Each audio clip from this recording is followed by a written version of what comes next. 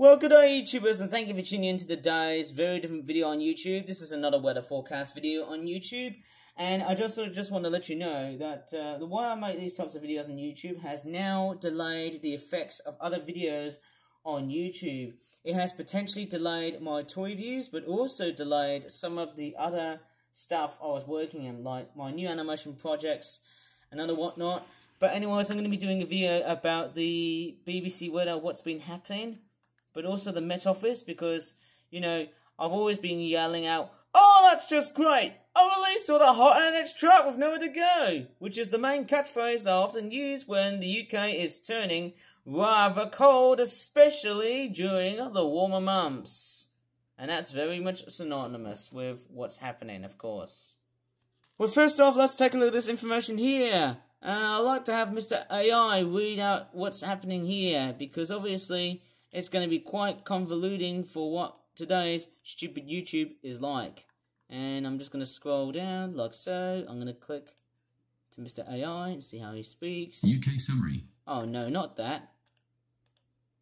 Latest forecast for UK. Oh, okay. Say it Today. properly. No, say it properly. Okay, okay. Latest forecast for UK. Okay, that's much better. Today. This afternoon we'll see variable cloud, but cloudy skies in the far north. There will be scattered showers across much of the UK, some of which heavy and thundery. Patchy rain in northeast Scotland. Tonight. Tonight, showers will die out in the east, but further scattered showers will move in from the west over Northern Ireland and in the southwest. I'm just going to pause this for a while, and it's a little bit loud, so I'm only going to turn this a little bit down and a digit, I think, so that I won't disturb the neighbours. Okay, let's continue. Okay, let me just click. Southwest. Elsewhere, mostly dry with clear skies for a time. Sunday. Tomorrow, variable cloud with scattered showers, some heavy and thundery, particularly in England. Drier in northern Scotland. Turning dry for most by the evening with late sunshine in places. Outlook for Monday to Wednesday. Monday will see a bright start for most, but some scattered showers later in the day, particularly in the north and far southwest. Cloudy with patches of heavy showery rain expected for much of the UK on Tuesday, only northern Scotland will stay mostly dry. On Wednesday, scattered showers to central northern areas, bright and largely dry in the far south. Okay, this is what the weather forecast outlook has been very much blabbering about. Thank you, Mr. AI. So, yes, I might take a look at this weather forecast later on this video, but I can tell you what, you know what's actually something missing? And I almost have to get the huff out of here because look what's happening. Can you see what's missing? Can you see? They don't even talk about the flipping temperatures. God damn it, BBC Weather, you lazy little sots. How could you? Oh my god. This is pretty much far much more better than just ranting about the weather than just having to think about the goddamn trauma that happened in May of 2024. And thank God I'm not going to think about it, of course. Okay, so as I'm just scrolling up, scrolling up, scrolling up, scrolling up, and I'm going to pick Birmingham, of course, because that's where I live. And there you go, it's been loaded. And of course, yes, here is the weather forecast in Birmingham right now. And as you can just see, uh, the weather is straightforward, nice and bright and sunny now after all of this stupid cold weather that we've been having so much of late. And it's so stupid, so much so that the temperature normally is now showing about 13, 14, 15 degrees. You've got to be joking. God damn it, BBC Weather.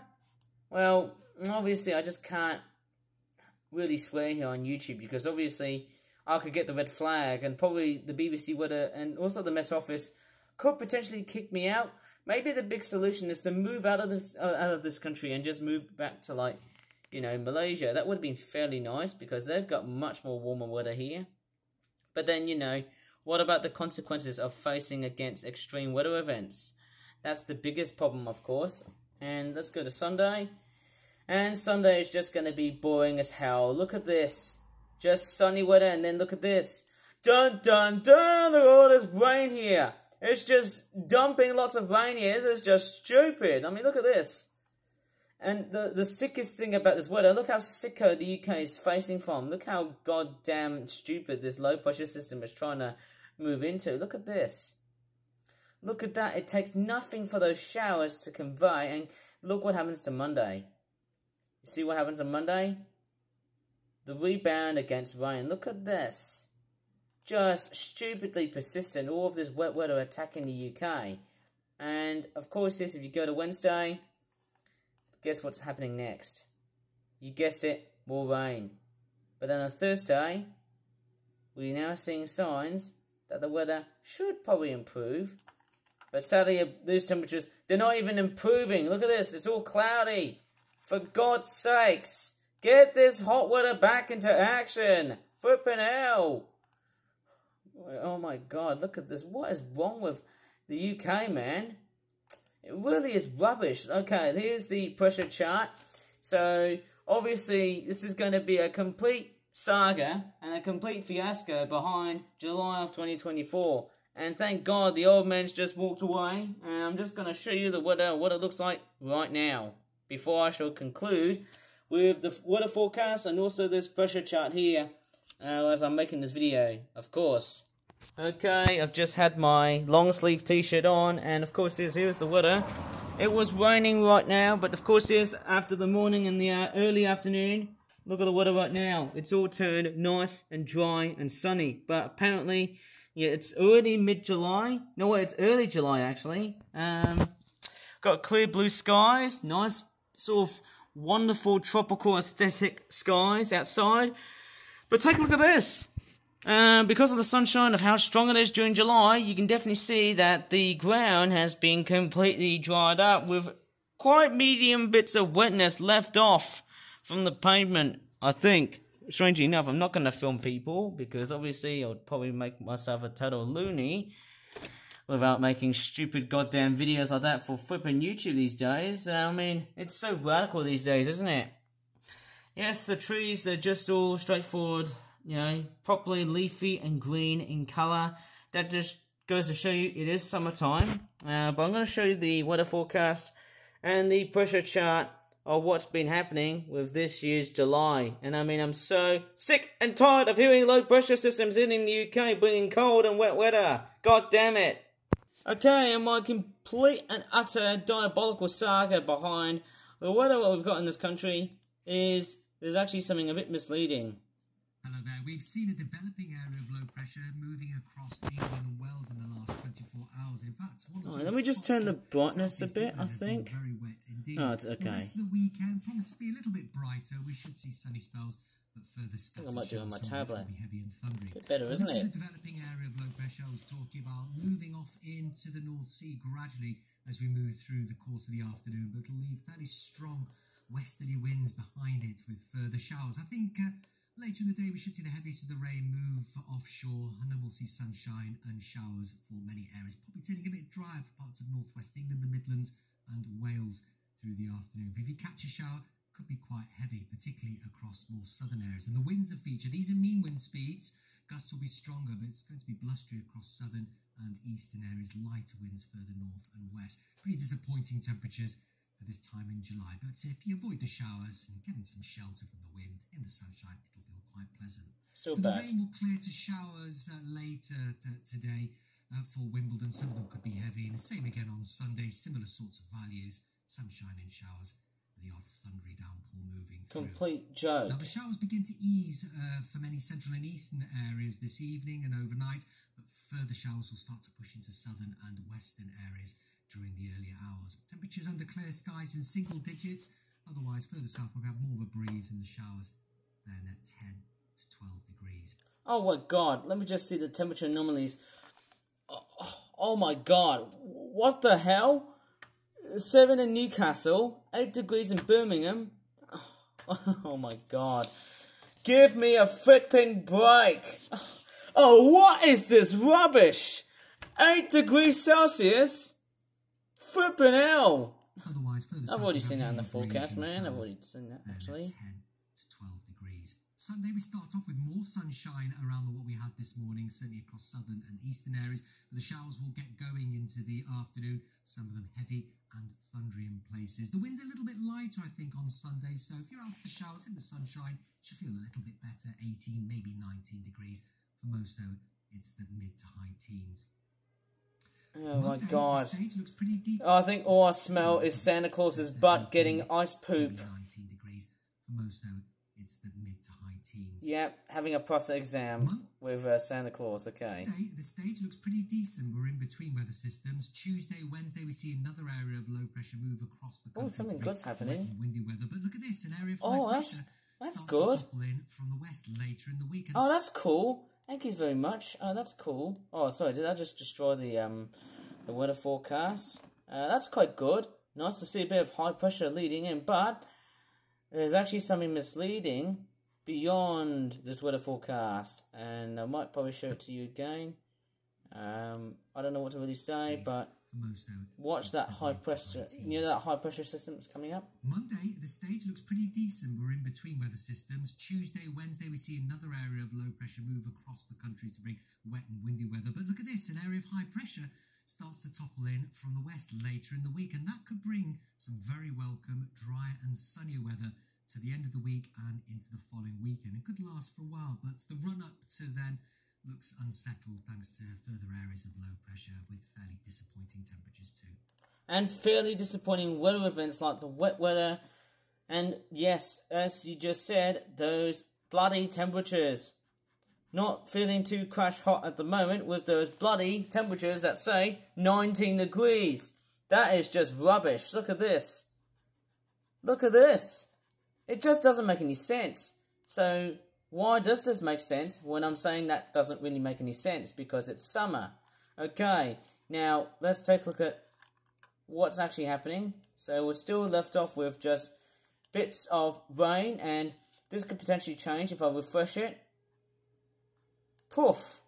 No change after all. But we're seeing very stupid images of uh, 18 degrees Celsius of wet weather and 17 18 degrees Celsius. But lo and behold, coming via next week, uh, the week after next week, of course, look at this. Warm, sunny weather is pretty much making for a bit of a rebound. This drier area of high pressure is straightforward slowly coming back, and that's actually very good news. So, that does sound very nice, but there's actually something very confusing behind this chart here. If I go back to the video here, and what of course is what's very what's very misleading is is that you've got 20 or 19 degrees Celsius, but you've got wet weather, and in fact it still feels cold when you're still out in the rain and stuff, and that doesn't feel very summery at all. It feels more like a an autumnal or winter picture, or rather than summer. It, it just doesn't have the the the thing that you can just bode with. But here comes the high pressure that's coming in. It's actually coming in from the west, and there's already another low pressure system that's already hitting um, Spain and Portugal and France. Um, as you can see, there's a hint of low pressure just hitting onto these parts of England, and then there's also tiny bits of it here. Um, but what's actually unfortunate, what's even more unfortunate is is that if you have if you have high pressure building into the west, you don't get the extreme heat. Um, either good or bad news. Um, that's very unfortunate. It's coming all the way from the Azores High, and it's drifting all the way towards the UK. But it's moving on a westerly direction. It's who knows? I might be totally wrong. I'm not sure if it's southwesterly that direction. I think again, this does seem to really confuse people. Whatever the hell am I blabbering about? So looking at this, that's what we've already seen. The observations of the wet weather that we've just seen. God damn it. Okay, so uh, looking behind this chart here, the problem is, is I can't really wriggle around with the uh, pressure chart when it's full screen. Okay, so it's only observations and both forecasts. And noticing if I look at the pressure chart anomalies throughout the rest of the UK, you can definitely see what's actually going around here. And um, there's Hurricane Beryl over here on the bottom left corner. And if I just scroll around here, look at the low pressure systems trickling and working their way in. And there's another one that's also coming out. See, we've got one, and then we've also got 2. But watch how this high pressure starts to annihilate. Okay, so let's just go back. One low pressure makes it, of course. Going on to Monday, I can't see it. it of course, it then comes through. Then on Tuesday, guess what? It just completely destroys the whole day. Look what happens next. It then is followed by another low pressure system. And it's this. Okay, yes, so let's see what happens. So it's still with it, or is it the same low pressure system? I can't quite recall or tell. Uh, I've got no idea what that is. But as you can see, there's high pressure building across France. But that does not signify that there's dry water here, because as you can see, there's this there's this whirlpool of low pressure here that's going to attack Spain, Portugal, and France. And what that means is cooler and unsettled weather conditions. And what's going to be happening is look at this high pressure system building in from the Azores. It's trying to kill off that low pressure system here, but I think it's yeah you can definitely just actually see it's it's failing, and I think it's failing because you know we've still got low pressure on our cards, and the low pressure is actually drifting northwards across um, parts of Scandinavia. As you can just see, it's scootling away, but then watch how this high pressure system is taking over parts of, guess what? And yeah, I can't really tell, parts of the UK. But noticing, yet again, there's low pressure systems that are actually built within parts of France. And you can definitely just see what's happening. This actually could be the same low pressure system that was. Look what happens. So if I zoom in and see what happens to this low pressure, it actually gets bigger and bigger and bigger. And as you can just see, it's colliding, colliding across towards Western Europe. See what happens when it makes a big effect across Spain, Portugal, and France. And see that the high pressure actually becomes a substitute low pressure, meaning that low pressure will still attack the UK. Again, weather models could potentially change, but that's how I'm actually seeing it. Because I think I must have thought it was a complete misled sort of forecast, but then now you know, no way Jose to that point of just blabbering about the weather for goodness sakes for no utter reasons. And I mean, look at Iceland, look at Greenland and Iceland, and you can see that high pressure is trying to dodge. It's actually trying to wriggle itself. It's trying to um um trampoline those low pressure systems all the way up to Greenland and Iceland, and possibly up towards the northwest. Okay, maybe that could be the greatest scenario of all time for what summer 2024 has to offer. Uh, compared to what we've just seen, a complete downfall of what we've already just seen. So much so that the amount of wet weather and cold weather, in fact, I'll tell you something as a bit of a true fact, there was snow hitting Scotland on the Highlands of Scotland. I tell you what, it was snowing in the Highlands. And get this, it was it was actually the very first time snow has fallen in July since although it wasn't July, of course, in the summer, guess when was the last time it ever snowed in the summer? It was June in 1975 when there was a cold snap right before there was a heat wave and a drought. Of course, here's what happened in 1975 in June was that there was a there was a snowy event sometime in this country here, and I think there was a lots and lots of snow in Buxton Cricket Ground. I think it was. I'm pretty too young to remember, but I think that's what the people have said to me about. Pretty unusual. I mean, who knows? Am I starting to feel like I'm a complete historic, what a guru or bureau type person? I got no idea whatever the flipping hell am I doing here. But hey, that's gonna pretty much conclude this whole video because I won't pretty much be running away with my lungs out just ranting about the weather. More so better than the trauma that I had from like the last two months ago. Anyways, it's tricky to pretty much say about the weather of this year's summer, especially July of today, because it's always so, so different. So, please give this video a like if you really enjoyed this very interesting explanatory video. Subscribe more for that videos in the future, and as always, thanks so much for watching, and goodbye for now.